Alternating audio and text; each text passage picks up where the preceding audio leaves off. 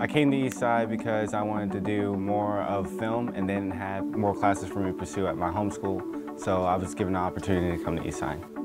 Benefits from being at Eastside, um, you get to explore more of the programs like After Effects, Photoshop, and iMovie and Final Cut Pro that allows you to do more than the programs that they have at my home school. Uh, just placement and my favorite thing about Eastside is that I get to work with a group that's in my class, like everybody, no one's left out, everybody actually has to participate and it's pretty fun. Did you yes. learn something different? What sets Eastside apart from my home school is that I get to work with a, a great teacher who has actually been in the field and worked with a new station and she's come here to help us and so that's great.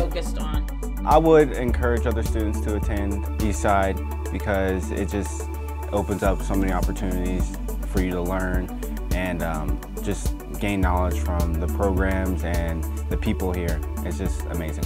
A lot of walking scenes. Mm -hmm. so Eastside prepared me to move forward and film because I was just able to use the many programs that they have, just like like I said before, like they don't have all the programs that they have here at my home school.